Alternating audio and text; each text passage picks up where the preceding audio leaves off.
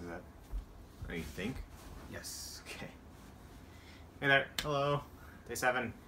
All done. All done. So today was our last day in Osaka and our first day in Kyoto. Mm-hmm. Kyoto is 20 something miles north of Osaka. Mhm. So it was a little bit of a train ride to get there. That's fine. It was what half an hour. We switched trains a couple times, but we're getting pretty good at the Japanese subway system, if I do say so myself.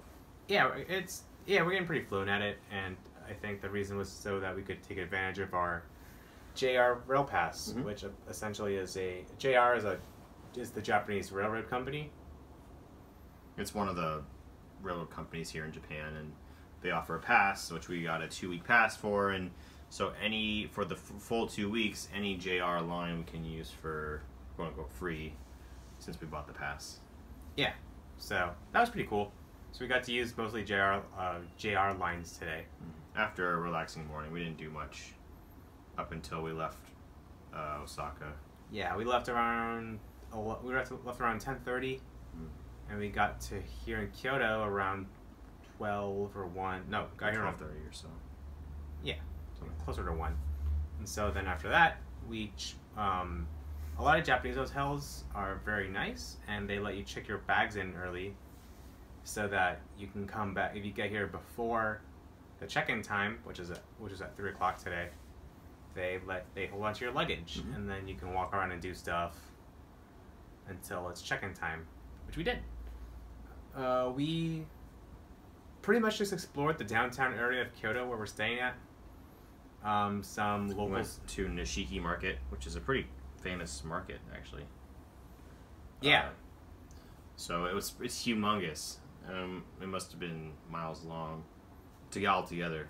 It's not just one street. It's just it's multiple streets of different like homemade goods, and then there was a fish street like a, where they have seafood mostly, and like desserts and other kinds of candy and stuff. And then there's more of the uh, commercial side where it's like more, uh, Guess, well-known brands. Like we saw a lot of Patagonia stores.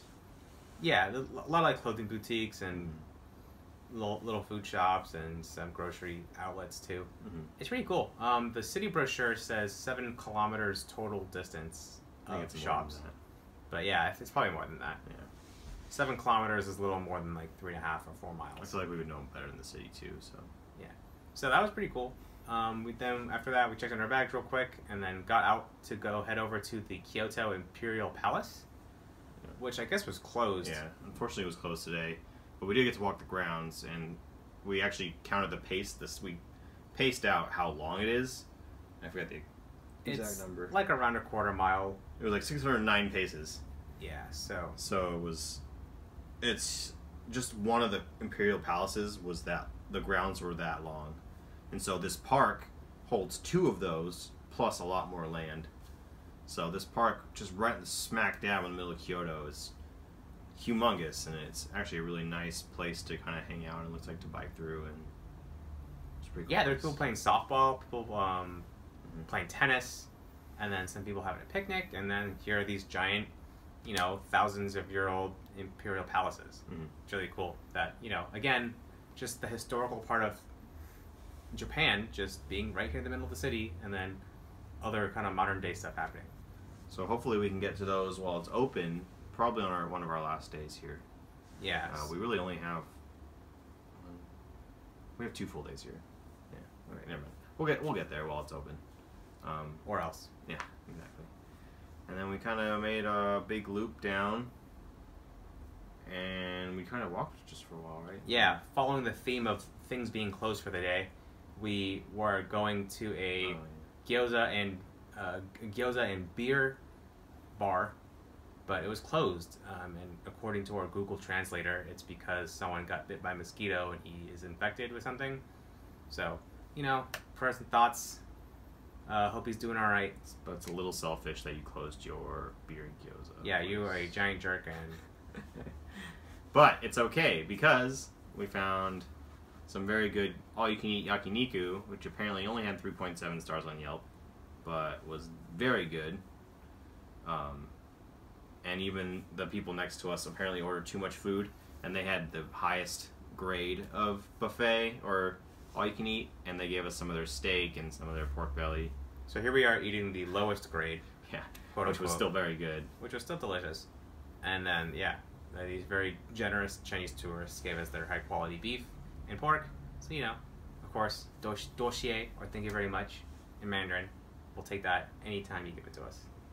Um, so then after that, we walked around a little bit, and then we got some more.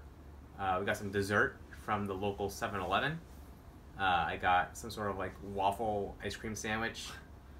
It was huge. It was probably about that big. Then I got like a little popsicle.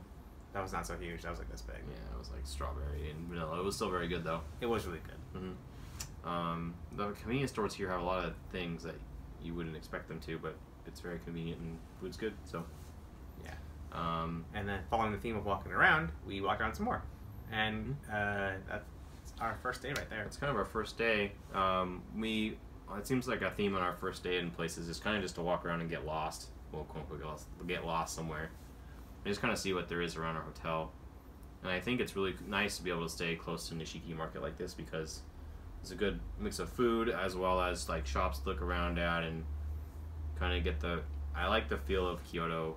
I think better than Osaka, but we'll talk about that later. Yeah, it's been a blast. So that's day seven, and uh, hope we see you tomorrow for day eight. Ja ne.